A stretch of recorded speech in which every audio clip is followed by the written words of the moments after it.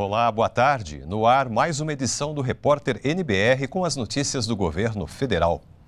Em Pernambuco, no município de Floresta, o presidente Michel Temer inaugurou mais uma etapa do programa de integração do Rio São Francisco. Ele acionou o dispositivo que dá início ao processo de bombeamento do eixo leste do programa. A repórter Luana Karen tem as informações. A terceira estação de bombeamento do eixo leste do projeto de integração do Rio São Francisco vai impulsionar a água por mais 61 quilômetros, Pernambuco adentro, rumo à Paraíba. O governo federal investiu 87 milhões de reais nesta estação. Aqui, a água vai ser elevada a uma altura de 63 metros e meio, o equivalente a um prédio de 21 andares. Depois, as águas do Velho Chico vão seguir pelos canais até chegar à quarta estação elevatória, em Custódia, também aqui no estado de Pernambuco. Ainda este semestre, as águas do Velho Chico devem chegar a Monteiro e a Campina Grande, na Paraíba. Em seu discurso durante a inauguração, o presidente Michel Temer afirmou que a obra vai levar desenvolvimento à região do Nordeste. Portanto, quando nós vemos a água percorrendo as áreas do Nordeste, nós logo temos a mais absoluta convicção de que, ao longo do tempo, esta região toda se desenvolverá mais ainda, porque ao lado dela, como disse o prefeito, como disse o governador, é, outras tantas obras serão realizadas para complementar esta obra extraordinária.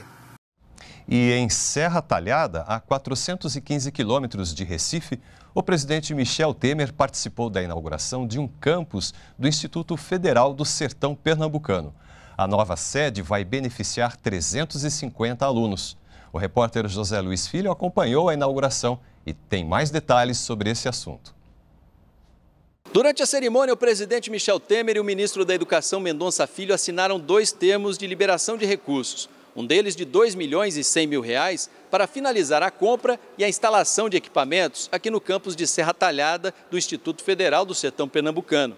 O segundo termo destina 91 milhões e 800 mil reais para estados e municípios que não conseguem pagar o piso salarial dos professores previsto em lei sem ajuda federal. Este montante faz parte de uma verba de 1 bilhão 297 milhões de reais previstos para nove estados este ano. Saiu hoje o resultado do Sistema de Seleção Unificada, o SISU. Nós vamos então ao Palácio do Planalto saber os detalhes ao vivo com o repórter Ney Pereira. Olá, Ney, boa tarde para você. Boa tarde, Roberto. Boa tarde a todos. Os candidatos já podem conferir o resultado pela internet no endereço sisu.mec.com enem.gov.br. Para acessar é preciso digitar o número de inscrição e a senha do Enem 2016. Matri... As matrículas para os aprovados serão dos dias 3, 6 e 7 de fevereiro nas instituições em que eles se inscreveram e foram aprovados. Caso não tenha sido selecionado, o estudante pode optar em participar da lista de espera. Nesse caso, é preciso acessar o site do SISU a partir de hoje até o dia 10 de fevereiro para registrar interesse pela vaga. O resultado da lista de espera será publicado pelas próprias instituições a partir do dia 16 de fevereiro. Neste semestre, foram oferecidas mais de 230 mil vagas de graduação em instituições públicas de ensino superior de todo o país. Roberto. Agora, Ney, quem não conseguir uma vaga pelo SISU pode ingressar no ensino superior ainda este ano pelo ProUni, o Programa Universidade para Todos, não é mesmo? Quando é que começam as inscrições? Olha, Roberto, as inscrições começam amanhã e vão até a próxima sexta-feira, dia 3 de fevereiro. Nesta edição, são mais de 214 mil bolsas parciais e integrais na rede privada de ensino superior. Os, estudante, os estudantes devem se inscrever pela internet no endereço siteprouni.mec.br www.gov.br. Lá é possível fazer a consulta das bolsas, filtrando por curso, instituição e município. Para concorrer, o estudante precisa seguir alguns critérios, como não ter diploma de curso superior, ter tirado no mínimo 450 pontos na redação, é, aliás, no Enem de 2016 e não ter zerado a redação.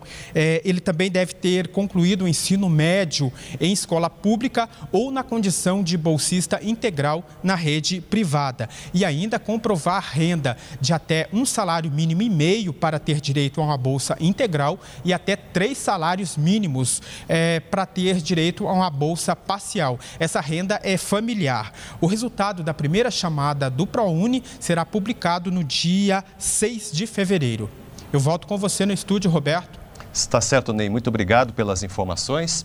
E o governo disponibiliza uma ferramenta interativa de acesso aos dados de comércio exterior dos municípios na internet. Prefeitos e cidadãos já podem navegar e interagir com gráficos e informações de exportações e importações dos municípios de forma mais ágil. Bastam apenas alguns minutos na frente do computador para acessar as informações sobre dados de comércio exterior de vários municípios do país. O novo módulo de consulta disponibilizado foi desenvolvido por servidores do Ministério da Indústria, Comércio Exterior e Serviços. O ComexVis, exclusivamente sobre os municípios, está aberto a qualquer cidadão. Uma ferramenta online ele funciona em qualquer browser da internet e a gente tentou fazer de modo que ele atinja o máximo possível de público-alvo. Né? Por meio do Comex Vis, é possível encontrar informações sobre estatísticas, valores e ranking entre os municípios, número de empresas, produtos que mais entram e saem do país e o destino e a origem das mercadorias. Com a ferramenta é possível navegar e interagir com gráficos e informações, mesmo para quem não tem grandes conhecimentos sobre o manuseio de planilhas de informática é uma plataforma responsiva, permite leitura em dispositivos móveis. A nova plataforma é um instrumento de inteligência comercial e faz parte do esforço do governo federal na implementação do Plano Nacional de Cultura Exportadora. E é uma ferramenta fácil, uma ferramenta didática, simples, amigável e por isso nós acreditamos ajudará muito na compreensão e, e na exploração das informações por aqueles que operam comércio exterior.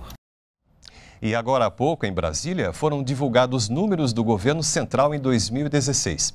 A conta inclui Previdência, Tesouro Nacional e Banco Central. O dado foi negativo em mais de 154 bilhões de reais, mas abaixo da meta estipulada pelo governo, que era de até 170 bilhões e 500 milhões de reais, uma diferença de 15,5 bilhões de reais. O ministro da Fazenda, Henrique Meirelles, falou sobre a importância do cumprimento da meta.